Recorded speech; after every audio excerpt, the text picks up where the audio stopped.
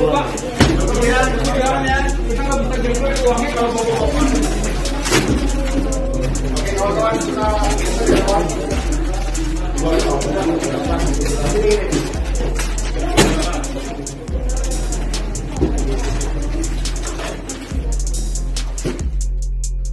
di media sosial sebuah video yang menunjukkan tumpukan uang tunai senilai lebih dari 5,1 triliun rupiah.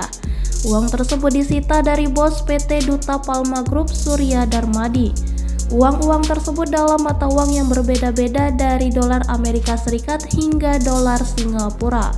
Tumpukan uang tersebut ditunjukkan oleh pihak Kejaksaan Agung Republik Indonesia yang menyitanya sebagai barang bukti tindak pidana korupsi perkebunan kelapa sawit PT Duta Palma Group.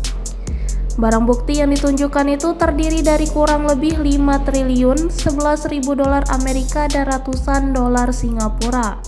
Kepala Pusat Penerangan Hukum Kejaksaan Agung Ketut Sumedana mengatakan uang-uang tersebut dititipkan kepada sejumlah bank Diberitakan sebelumnya awal Agustus Kejaksaan Agung menetapkan Surya Darmadi sebagai tersangka kasus dugaan korupsi penyerobotan lahan seluas 37.095 hektar di Riau. Surya Darmadi dijerat bersama Bupati Kabupaten Indragiri Hulu periode 1999 hingga 2008 Raja Tamsir Rahman.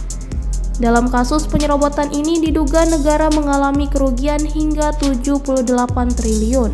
Selain itu, Kejaksaan Agung menetapkan Surya Darmadi sebagai tersangka kasus dugaan tindak pidana pencucian uang.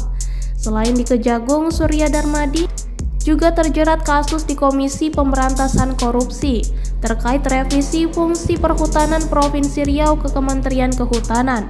Perkara ini turut menjerat mantan Gubernur Riau Anas Ma'amun.